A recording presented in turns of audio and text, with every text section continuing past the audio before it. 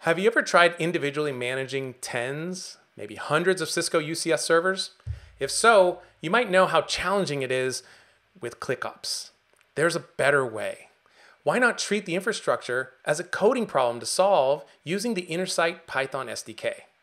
I'm Mel Delgado, developer advocate at Cisco, and here are three things you'll need to get started with the Intersight Python SDK.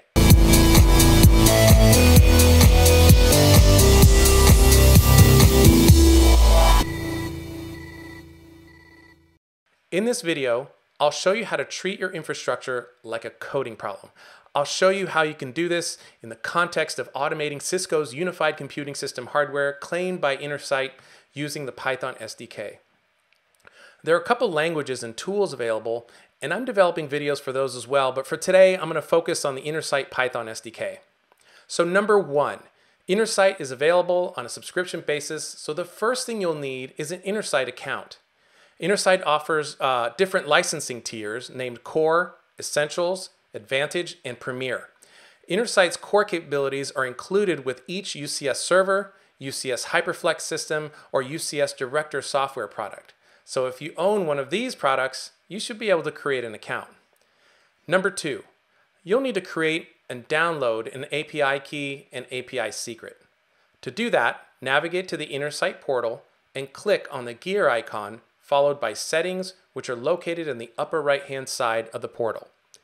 Then click API Key and Generate API Key. Give it a catchy name. I'm naming it Mel's API Key. Select API Key for OpenAPI Schema version 3 and, gener and click Generate. Copy the API key ID and download the secret uh, key and be sure to store the secret key in a safe place. The instructions warn you about not having access to the secret key after the box is closed, so be sure to download the secret key. If you lose it or don't download the secret key, you can always generate a new one. Step 3. Visit pypi.org and search for Intersight, where you'll find the instructions for installing the SDK. There's more than one way to install the SDK, and my preference is install using pip install Intersight. Once installed, I can verify it's installed by running pip list, pipe that to grep intersight.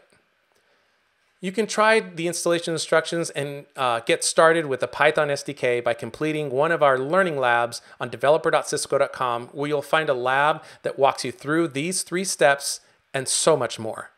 I'll post the link below.